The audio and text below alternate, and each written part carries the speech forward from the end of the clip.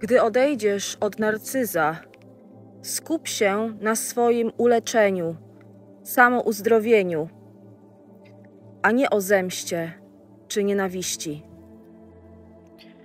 Pamiętaj, że stres, który był spowodowany relacją z narcystyczną osobą, miał szkodliwy wpływ na Twój mózg, na Twój hipokampus. I dlatego powinieneś skupić się na regeneracji. Spędzaj czas aktywnie, ale się nie przemęczaj. Wysypiaj się.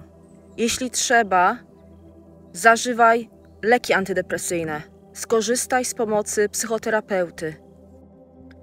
Spędzaj czas na łonie natury. Obserwuj przyrodę. Słuchaj się w jej dźwięki. Spędzaj czas ze sztuką. Maluj. Słuchaj muzyki. Może napisz książkę o swoich przeżyciach. Podziel się doświadczeniem z innymi osobami.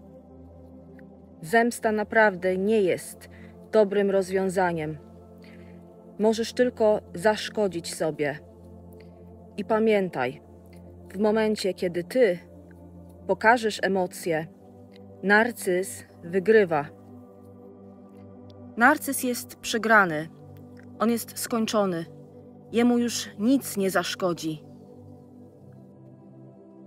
A co do kary, to największą karą dla narcyza jest Twój uśmiech, Twoje szczęście, poczucie spełnienia, Twój sukces.